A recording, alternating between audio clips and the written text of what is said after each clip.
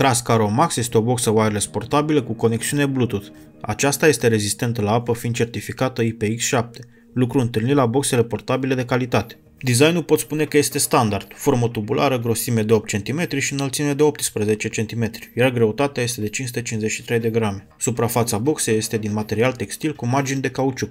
Sunetul oferit este împrăștiat 360 de grade, adică boxa va oferi sunet indiferent unde vă aflați. Pe partea din față se află butoanele de volum, iar în partea de jos este butonul pentru pornire, cel pentru împerecherea unei alte boxe, care are și rol pentru play sau pauză și butonul pentru Bluetooth. Pe spatele boxei regăsim mufa USB Type-C pentru încărcare, o mufă auxiliară pentru input și un cititor de carduri microSD.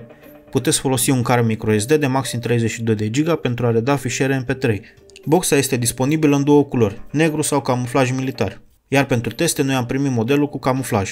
Certificarea IPX7 ne asigură că boxa poate rezista sub apă la o adâncime de 1 metru timp de jumătate de oră. Chiar și așa nu vă recomandăm să băgați boxa în apă în mod intenționat. Calitatea sunetului este oferit de două difuzări active de 45 de mm, care sunt asistate de două radiatoare pasive care au tot 45 de mm. Sunetul este excelent pentru cât este de mică boxa, iar aceasta reușește cu ușurință să umple o cameră de 10-15 metri pătrați. Basul este prezent, dar nu în exces. Așadar nu avem parte de acel sunet ca din butoi însă contează foarte mult zona unde este amplasată aceasta. Mediile și înaltele sunt și ele prezente din plin, dar pentru cine nu este mulțumit poate oricând apela la un egalizator. Boxa nu are parte de o aplicație separată pentru telefon și nici nu are avea de ce.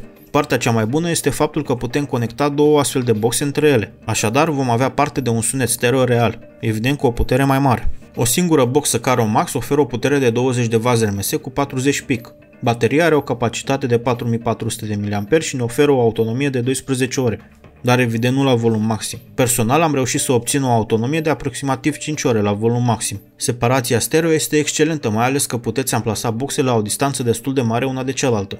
Pentru un preț de 250 de lei pe bucată, Caromax este un best buy, dar evident când va fi disponibil în România. În continuare puteți asculta o demonstrație de sunet oferită de aceste boxe.